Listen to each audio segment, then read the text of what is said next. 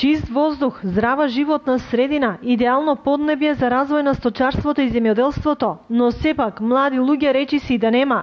И оние што останале, претежно момчиња во одминати години, стојат на раскрсница, не можат да се одомат оти во селото моми нема, а од страна тешко доаѓаат. Најодалеченото мало во село Грлани Виничко, малото Петревци, останува незаменливо за оние кои тука ја трошат својата пензија. Го беше полно све тоа се тоа држеа одработуваше нешто земјоделчка, нешто стока, овци и говеда, тие траоти. Са секој гледа настрана малку да се оди по малку работа, повеќе пари да земе. Но за младите луѓе кои едва и се пребројуваат, за пензија е рано, а иднината допрва треба да се гради, но како?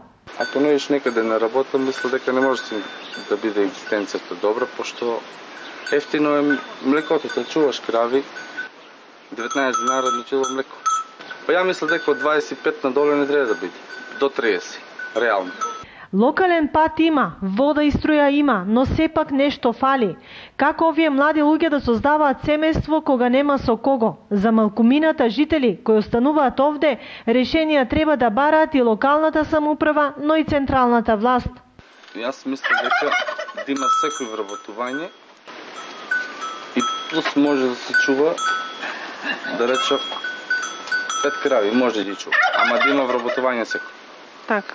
А ти тука да живееш со пет крави, не можеш да живееш. Те како трстија интересно што беше фабрика, зградата постои, се си уред, едино се одновио на да речеме да прима там женски и машки да речеме на работа да се оформи, па нешто Виница има неколку рицкопланински села од разбиен тип која делат истата приказна како и грлани.